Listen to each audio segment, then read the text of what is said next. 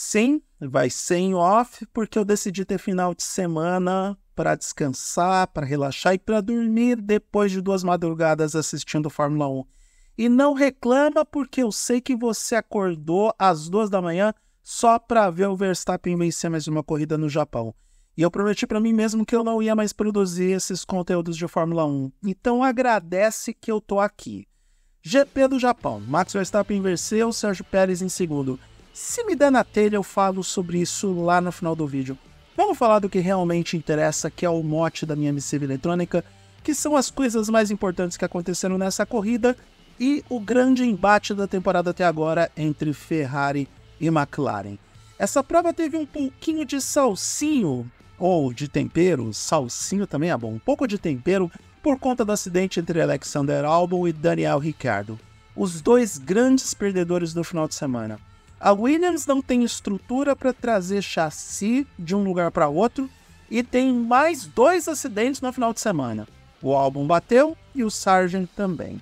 Esses carros vão chegar remendados na China e eu tenho minhas dúvidas se a equipe seria mais competitiva do que, por exemplo, sei lá, a Andretti, porque está cada vez mais caindo por terra essa teoria de que Michael Andretti não teria competência para oferecer competitividade para a Fórmula 1. E o nosso menino Ricardo, Ricardo, Ricciardo, eu não sei mais falar o nome dele. Esse aí tá na bola da vez, porque, caramba, ele foi o responsável por essa batida. Ele sabe que precisa terminar corridas, ele sabe que precisa entregar performance e desempenho, e no mesmo final de semana que ele abandona a corrida sem completar uma volta, o companheiro de equipe dele, correndo em casa, Yuki Tsunoda, marca um ponto. Olha só como são as coisas. E tô para dizer que o Tsunoda é realmente o funcionário do mês. Ele vai ter aquela foto na parede da Red Bull, Vicarb, Toro Roxo, sei lá como chamar essa equipe. Ele vai ter a foto de funcionário do mês porque, afinal de contas, é ele quem está entregando a melhor performance no carro da equipe que tem nome de cartão de crédito. Então ficam esses registros como grandes vencedores e perdedores do final de semana, mais até mesmo do que o Carlos Sainz, que eu falo daqui a pouco sobre ele. Nos demais, eu acho que essa corrida também mostrou quem é que está fazendo hora extra na Fórmula 1 sobre vários aspectos. Tá bom, eu tenho pena da dupla da Alpine, de certo modo tem. Pierre Gasly e Esteban Ocon são dois bons pilotos, são duas boas pessoas, mas estão dirigindo tratores. Não são carros de Fórmula 1, são tratores. O Logan Sargent pode ser considerado um vencedor porque terminou a corrida, mas Jesus amado, o final de semana que ele fez com mais um problema, mais uma batida, ele mesmo diz é algo que eu não deveria ter feito. Isso virou meme na internet. De fato, Sargent, você não deveria ter dado mais um prejuízo para Williams, porque você também está na bola da vez e já está fazendo hora extra, assim como, sinceramente, Valtteri Bottas, Kevin Magnussen, Lance Stroll, um poço da incompetência. Tudo bem, a Aston Martin é outro trator agrícola, é um carro de Fórmula 3, mas pelo amor de Deus, Lance Stroll, o Alonso se batendo dentro de um carro, dirigindo essa draga do mesmo jeito, chega em sexto e o Lance Stroll em décimo segundo. Tá, eu não tô comparando o Lance Stroll com o Alonso, mas ele não faz jus para ter uma vaga na Fórmula 1. O Lance Stroll já deveria estar tá fora dessa categoria há muito tempo. Mesma coisa, Nico Huckenberg, já falei do Magnussen, né? Huckenberg, socorro.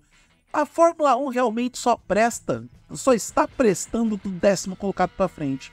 E ainda assim a gente tem que olhar para os asteriscos e para aquilo que não está dando certo.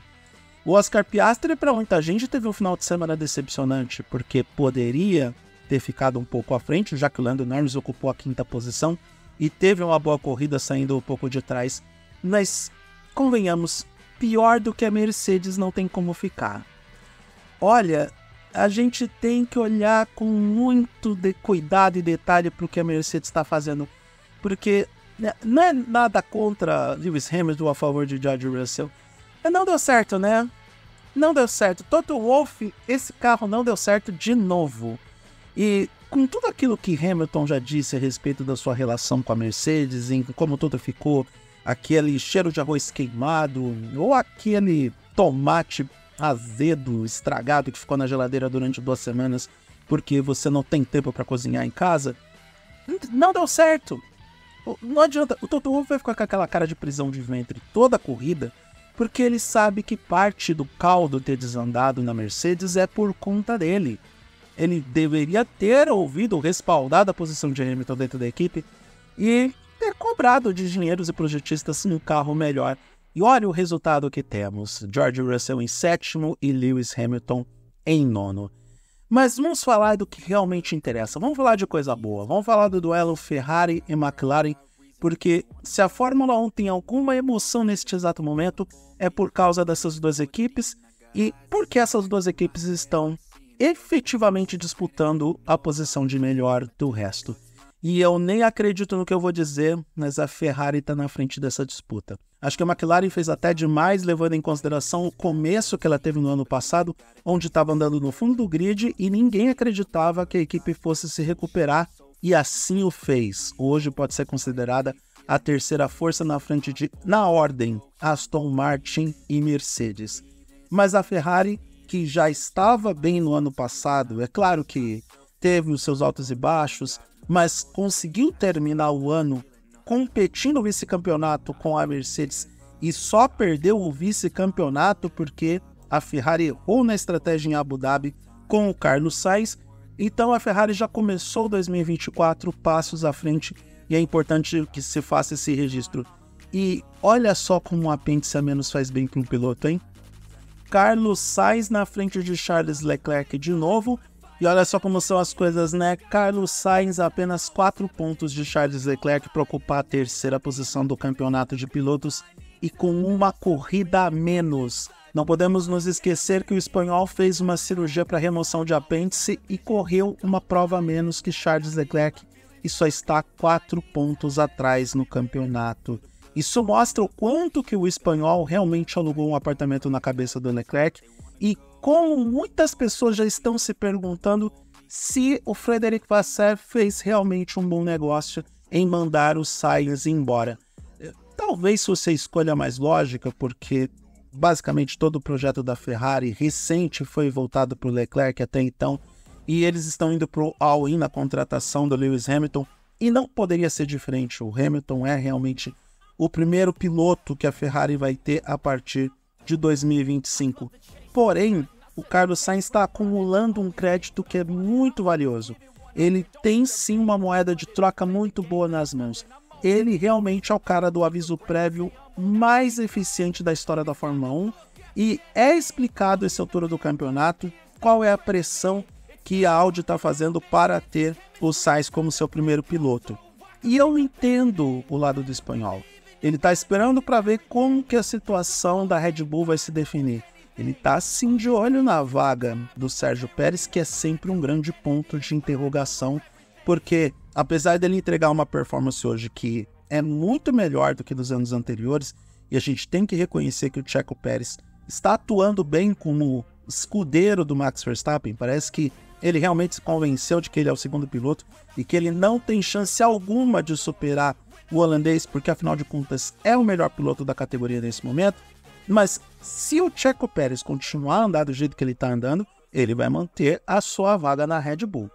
E aí fica difícil trocar o Sérgio Pérez agora e colocar, por exemplo, o Sainz, o Alonso, enfim, qualquer piloto. Aliás, interessante o que o Max Verstappen disse nesse final de semana, porque ele afirmou com todas as letras em uma entrevista que é contraproducente se a Red Bull trouxer o Alonso com mais de 40 anos porque foge das tradições da própria Red Bull, que sempre foi promover os seus jovens pilotos, tanto que investe pesado na academia de formação de pilotos, e também é uma forma de reforçar o respaldo, o apoio ao Helmut Marko, porque se você não trouxer um jovem piloto, para que, que o Helmut Marko está ali dando seus pitacos da forma como ele sempre fez?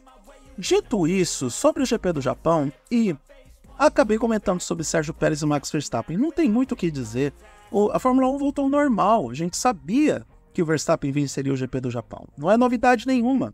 Apenas aqueles muito otimistas acordaram de madrugada esperando que o carro da Red Bull quebrasse de novo e que a gente tivesse um vencedor diferente desse. E Verstappen só levou mais tempo para vencer o GP do Japão porque teve aquela batida no começo da corrida.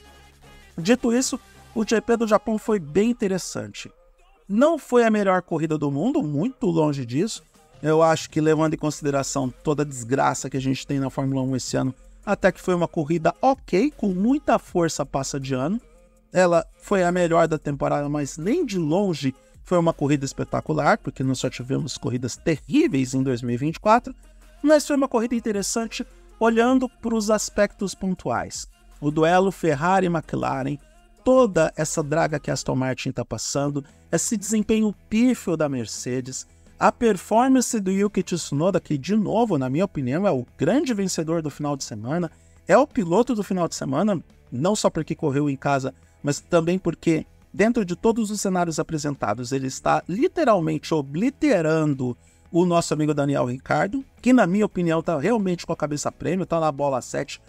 A melhora da Racing, o Gunter Steiner, tudo bem, eu falo que Huckenberg e Magnussen são pilotos que não justificam mais a permanência na Fórmula 1, mas a Haas melhorou, né? Até porque as equipes no fundo do grid hoje é Alpine, Williams e Kick Sauber. E, meu Deus, a Sauber também, socorro, né? O que atrapalha na Kick Sauber é aquela cor marca-texto. Aquilo ali tem arrasto aerodinâmico naquele verde-limão marca-texto do carro. Mas tá mais interessante olhar para esses detalhes da Fórmula 1 ver o drama da Williams, eu tenho muitas dúvidas de como a Williams vai performar no GP da China, que afinal de contas não tem estrutura para trazer chassi da Europa para a Ásia, e aí vai ter que andar com dois carros emendados agora. Não que os danos desse final de semana sejam graves, mas chega uma hora que a estrutura, o chassi não aguenta. Então quero ver o que o Sargent e o Albon vão fazer com esses carros que já contam com prejuízo das etapas anteriores. E toda a confusão que está acontecendo na Alpine, que realmente os dois carros os dois pilotos não se entendem. O Ocon e o Gasly não se entendem e o carro é horroroso. Fora isso, até que não foi uma madrugada perdida. Tive a chance de conversar no Twitter com o Kevin Nicholas do Primeira Fila. Acho o trabalho do cara excelente. Observei os comentários das pessoas sobre um possível fim do Twitter, um fechamento do Twitter no Brasil, porque o Elon Musk andou falando umas coisas para os ministros do STF, mas isso não vem ao caso. Então, próxima etapa da Fórmula 1, se sabe quando vai ser GP da China daqui a duas semanas, 19 e 21 de abril de 2024, no circuito de Xangai. E algo muito interessante que foi dito na transmissão antes de terminar. Essa geração desses carros não tem ideia, não tem referencial de como é o circuito da China. Os dados utilizados nas temporadas anteriores não servem porque já passamos cinco anos, já temos uma nova geração de carros. E aí a gente vai ter que começar do zero, as equipes vão ter que começar do zero o desenvolvimento e a preparação para o GP da China. Mas aí a gente se encontra lá, eu gravo mais um vídeo sobre isso. Espero que com cara limpa, porque eu estou com olheiras, eu estou com sono, eu estou com uma cara que não dá para aparecer na câmera, então é por isso que eu estou gravando esse vídeo em off. O eduardomoreira.com.br para mais. Eu não escrevi sobre essa corrida, mas eu tenho muita coisa de cultura pop produzida por lá, principalmente tecnologia também. E eu estou no arroba Eduardo Moreira, você pode me seguir em todas as redes sociais inclusive no Twitter, enquanto ele ainda existir no Brasil. Um grande abraço para todo mundo e até a próxima.